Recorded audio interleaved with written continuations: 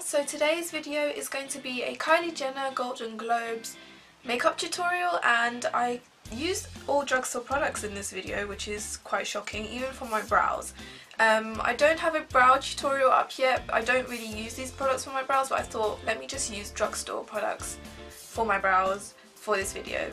Um, I just love how like she had these big brows and like this brown smoky eye and then a simple lip and I on the pictures it looks like it's shiny so I just put some gloss on top so I never really wear shiny lips but it's a it's a inspired makeup tutorial so um, yeah I had so much fun making this look. She's just so pretty her, her outfit was pretty and it was oh I just love it. She looks really good. So I hope you guys will enjoy this video and we'll just jump straight into it so I'm first going to moisturise my skin as always and I'm going to use my Garnier Moisture Match um, cream for dry to very dry skin and I'm really really concentrating this around my nose area because lately my skin has been so dry and it's just been flaking and stuff and it really gets to me. I hate it so much. But now I'm going to just move on to color correcting and I'm using my LA Girl orange corrector just using this around my mouth area to cover pigmentation.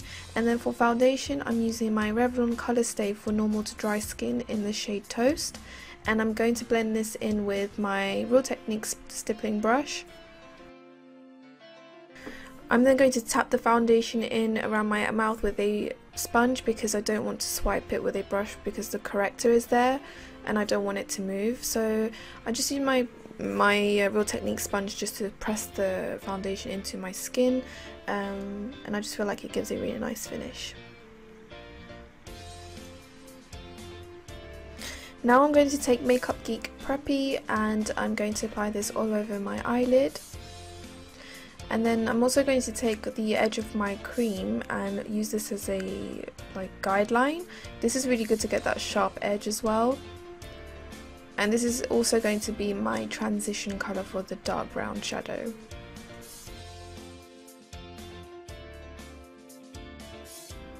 So for my brows I'm taking this Rimmel eyebrow pencil and I'm going to just kind of outline my brows. I'm really trying to grow them out and get them to their fullest bushiness, I don't know, but um, it's just that my eyebrow lady, she just always messes them up every time so I'm trying to do them myself for once.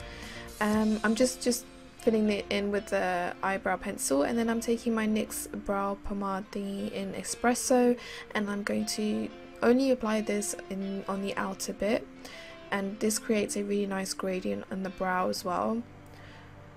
So I always use a spoolie to just distribute the product and make it look as natural as possible and then I'm going to take my concealer and this is the Maybelline Age Rewind Concealer in Nude and I'm just cleaning the edges with a flat brush.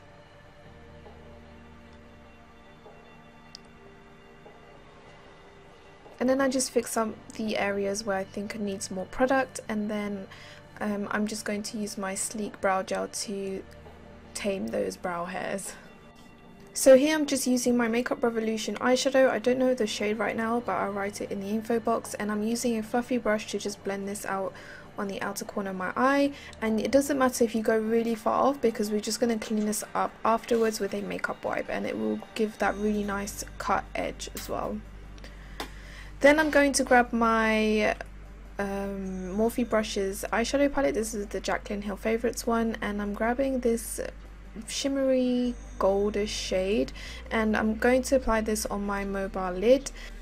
I did think it was a bit too light so I went and grabbed this shade right here and applied this on the top and I just thought it was the perfect shade although I couldn't really see on the picture what she had on her lid but um, there was something lighter than the brown shadow around the edges so I'm just going to go with this and I'm just touching up the edges um, and making it not look as curvy. Um, that was bothering me but I wanted to go straight but it was going curvy around my brow bone area. So I was really trying to fix that up and I'm using a clean fluffy brush right here just to clean up the edges and make sure that everything is blended out. You can also go in with MAC the Preppy eyeshadow, well your first transition shade and just clean up the edges with that as well. So as you can see there I just cleaned the edges with my makeup wipe and it really gives a cut edge and then I went over the um, that area with my foundation brush just so that there was some still some foundation there.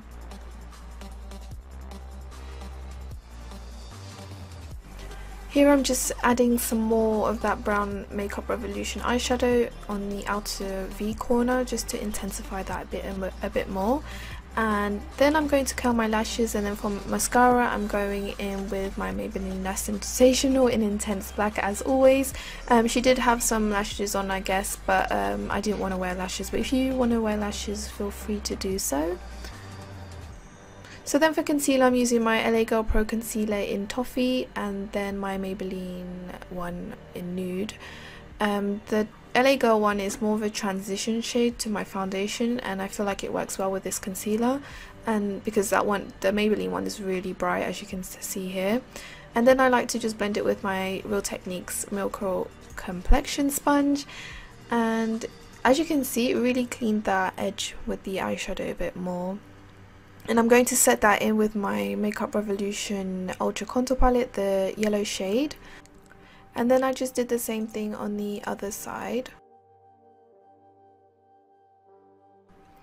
I'm then going to take a flat shader brush and apply the eyeshadow on my lower lash line and really kind of smoke that out. She, you can tell that she had some brown eyeshadow on her lower lash line and then I'm going to take my mascara again and just apply a bunch of mascara on my lower lashes as well.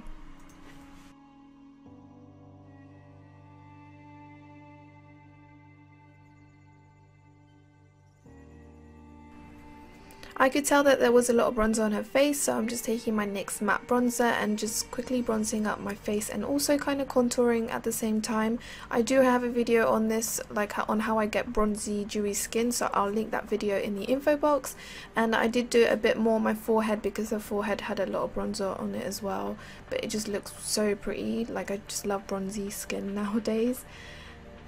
And then for my blush, I'm taking this Rimmel Trio blush. I think it's called Oso Spring or something like that, but it will be written in the info box. And it has kind of like a shimmer to it, so it acts like a highlight as well. So I just concentrated this on my cheeks.